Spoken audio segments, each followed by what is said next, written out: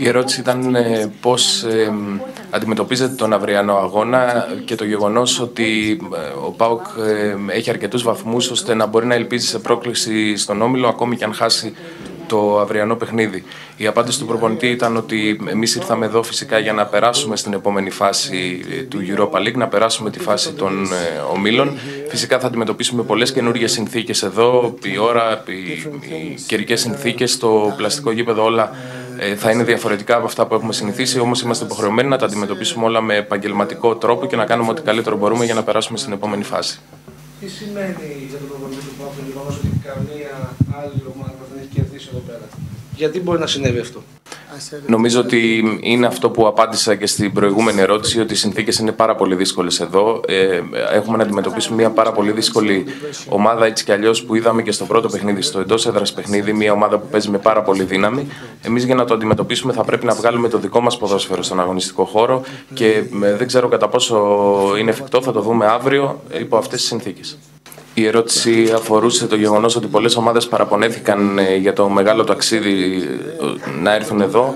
Ε, πώς σας έκανε αυτό να αισθάνεστε η διαδρομή μέχρι εδώ και ε, πόσο σας επηρέασε ψυχικά και σε φυσική κατάσταση αυτό; Η απάντηση είναι ότι φυσικά από τη μέρα της κλήρωσης ξέραμε τι έχουμε να αντιμετωπίσουμε και για να φτάσουμε εδώ.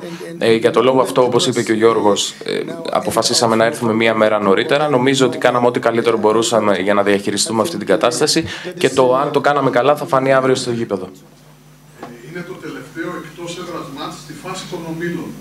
Θυμόμαστε ότι στο Γκέλσερκίρχεν είχε πει ότι οι παίκτες του πρέπει να μάθουν από αυτή τη διαδικασία. Ε, Ολοκληρώνοντας έτσι ένα πρώτο κύκλο αγώνων, πιστεύεις ότι, πιστεύει ότι έχουν γίνει βήματα πάνω σε αυτό; Ελπίζω οι ποδοσφαιριστές μου να κέρδισαν από αυτή την ε, εμπειρία. Είναι, είναι μια πραγματική εμπειρία το να μπορείς να διαχειριστείς τρεις αγώνες την εβδομάδα.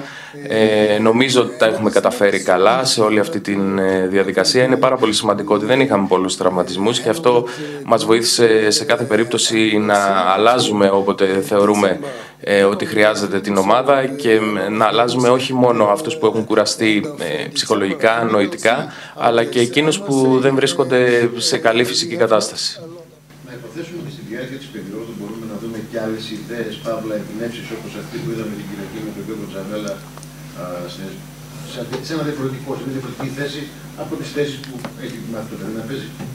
Αυτό που συμβαίνει σε αυτές τις περιπτώσεις είναι ότι δεν έχουμε μόνο τους αγώνες, έχουμε και τις προπονήσεις και εκεί ένας προπονητής μπορεί να δει πολλά και ο ποδοσφαιριστής έχει την ευκαιρία καθημερινά να δείξει στον προπονητή ότι αξίζει να παίξει. Αυτό που συνέβη με τον Γιώργο ήταν, ο οποίος θα πήγε πάρα πολύ καλά στον αγώνα εναντίον του Άρη, ήταν ότι σε μια εποχή που δεν είχαμε πολλούς διαθέσιμους κεντρικούς αμυντικούς, ε, το δοκιμάσαμε στην προπόνηση και πραγματικά με την εικόνα του μου, μου έδωσε την αίσθηση ότι πρέπει να παίξει.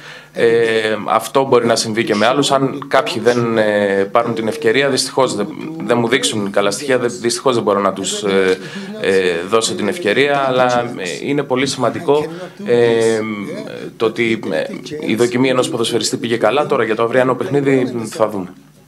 Το βράδυ της Κυριακής ο κύριος Σαββίδης είπε ότι έχουμε ένα προπονητή που παίρνει κάποια σκληρά μέτρα για τους παίχτες και θέλω να δω αν και εκείνοι αντέχουν. Το έθεσε κάπως έτσι. Θέλω να το σχολιάσει. Η απάντηση είναι ότι εγώ είμαι αυτός που είμαι. Ε, αν κάποιες φορές πρέπει να είμαι σκληρός με τους ποδοσφαιριστές, θα είμαι σκληρός. Αν κάποιες φορές πρέπει να τους δώσω συγχαρητήρια, θα τους ε, δώσω συγχαρητήρια. Ήρθα να κάνω μια δουλειά στον ΠΑΟΚ και αν ο προπονητής θέλει να είναι ειλικρινής με τον εαυτό του, δεν υπάρχει προπονητής που δεν θέλει να κερδίζει. Αν πρέπει να κερδίσουμε, αν για να κερδίζουμε πρέπει να είμαι σκληρός, θα είμαι σκληρός. Αν πρέπει να αλλάξω έναν ποδοσφαιριστή, ο οποίος δεν είναι σε καλή διάθεση ή είχε ένα τραυματισμό ή για οποιονδήποτε άλλο λόγο, θα το κάνω. Ε, δεν είμαι πάντα σκληρός. Κυρίως προσπαθώ να είμαι δίκαιος απέναντι στην ε, ομάδα μου, απέναντι στον ΠΑΟΚ και απέναντι στους ποδοσφαιριστές και σαφώς απέναντι στον εαυτό μου. Είναι εκτό κλίματο αγώνα, αλλά έχει σημασία αν θέλει να ε, Πώς άκουσε τη δήλωση του κ. Σαββίδη, ο οποίος την Κυριακή το βράδυ επίσης δήλωσε ότι η απόλυτα κυρίαρχο των μεταγραφών που θα γίνουν θα είναι ο Φίλιο January. Θα δούμε τον Ιανουάριο, θα πρέπει να περιμένουμε μέχρι αυτό το σημείο.